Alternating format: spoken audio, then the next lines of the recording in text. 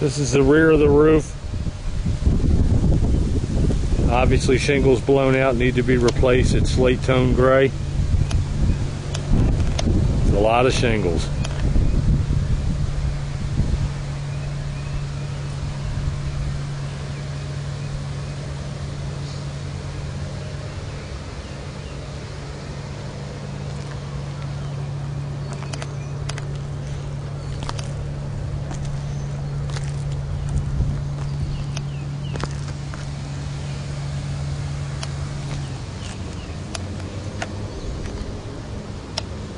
This is a tab in the back behind the front vent pipe.